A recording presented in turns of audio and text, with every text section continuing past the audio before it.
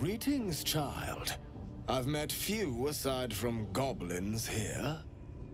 You recognize the Scourge. This man is a follower of Loviatar, goddess of pain. Ah. Are you also here to assist with the prisoner?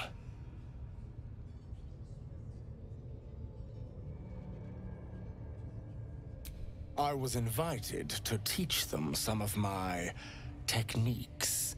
I live for pain and its intricacies, you see. But alas, these goblins seem to thrive on the crude and primitive. Pain without purpose is a terrible thing. Wouldn't you agree?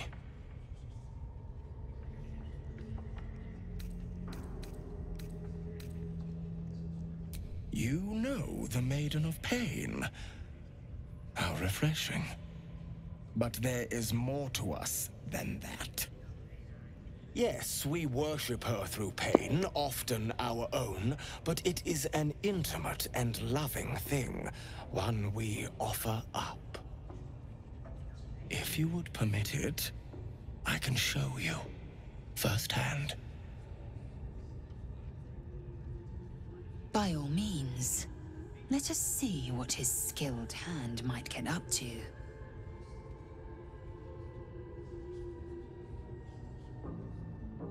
Oh, I have something exquisite in mind. Both Loviatar and I are interested in how you handle pain, dear one. And should you delight her, you will most assuredly receive her most gracious blessing. Trust me. Simply face the wall, and we can begin.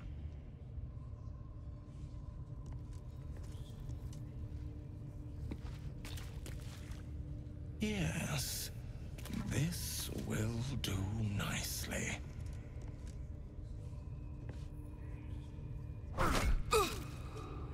The pain you suffer will cleanse you. Do not fight it.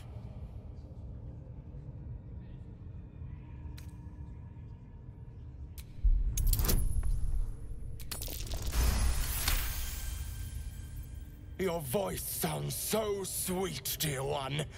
Keep going. Would you have joined up with her if you'd known she'd be indulging in this sort of thing, Astarion? I mean, I had my hopes.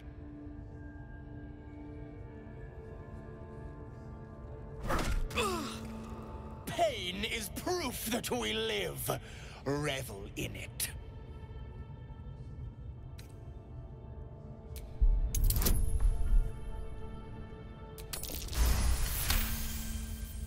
That's it, dear one!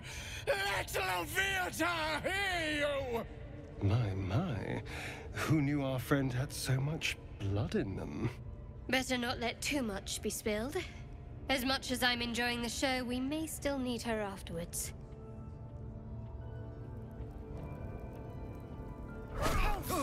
Sweet child, you bore the pain like a true believer. I am proud to have served you this penance.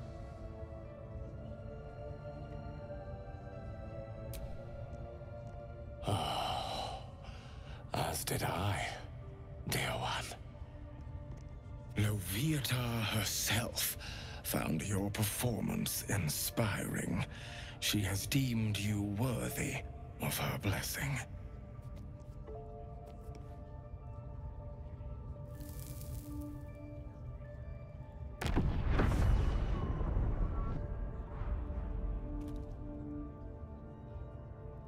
And on a personal note,